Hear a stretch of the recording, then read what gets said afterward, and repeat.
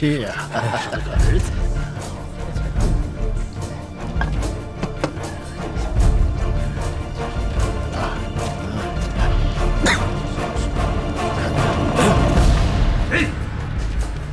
我好像听见后面有声音，你没听见吗？没有啊。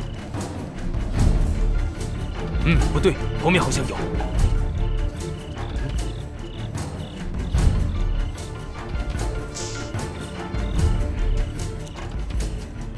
声音好像从下面传来的，什么也没有啊，没有声音，我听见了。嗯，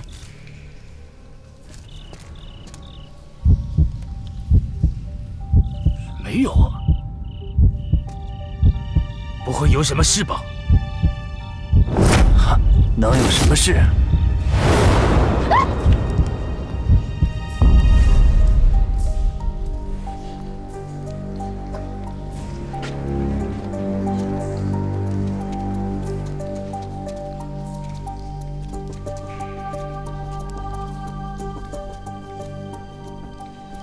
你确定？日本人肯定知道了。会不会是我们想多了？万一他们没听到呢？不可能，不能小看他们。吴天肯定知道。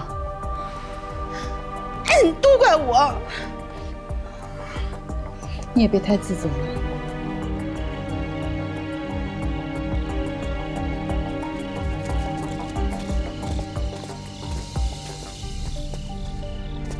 钟总。这是丁家堡一条废弃的下水道，不过年久失修，已经堵死了。是你们听到下面有人的咳嗽声？报告中佐，我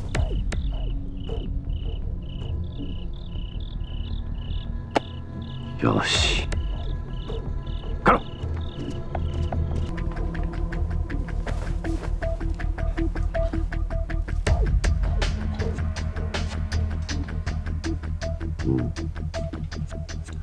这些就是你挑选的劳工。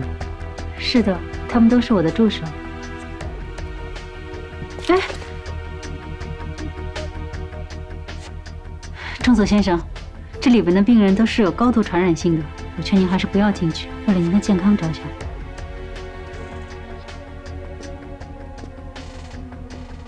我这不是戴了口罩。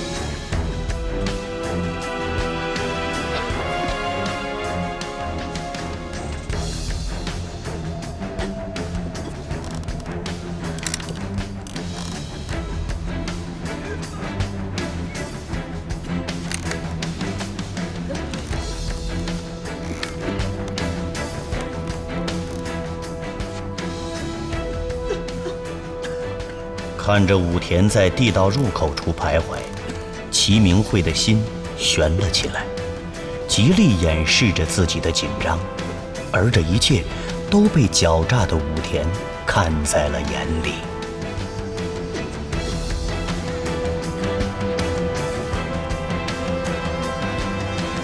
谢医生，已经很晚了，早点休息吧。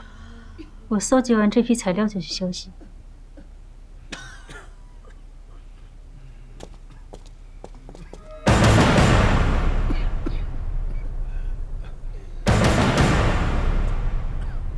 你们几个把口罩摘了。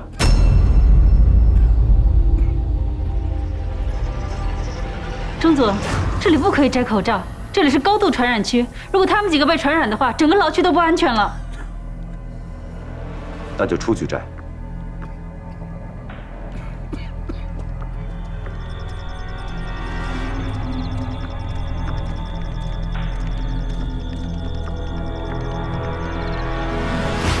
口罩都摘了，立刻！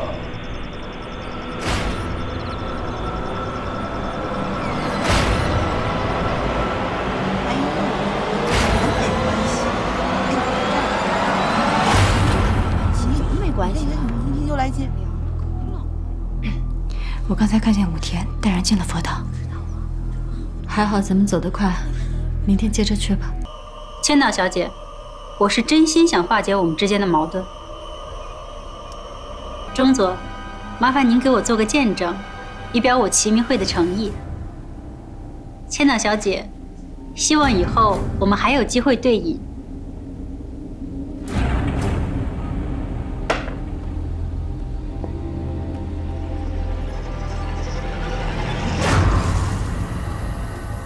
我看以后没有这个机会。你什么意思？中佐，我现在非常确定。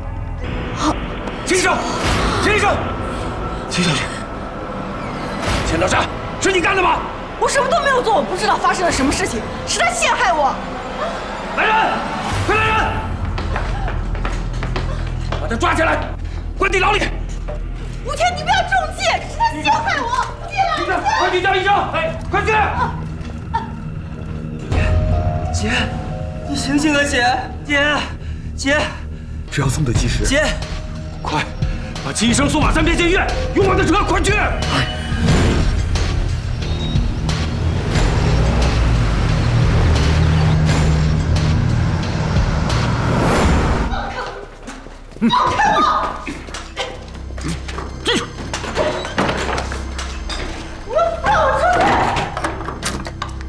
千岛长官，不是我们为难你，是武田中佐的命令。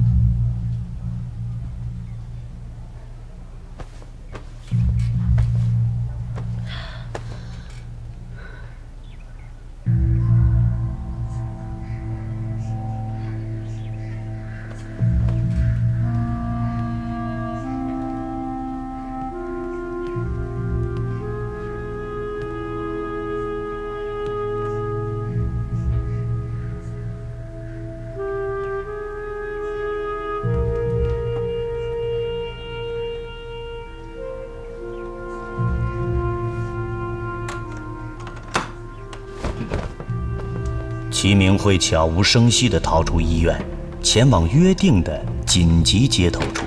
这是在他进入丁家堡前，与地下党商量好的应急对策，就是要将丁家堡的紧急情况传递给地下党，寻求帮助。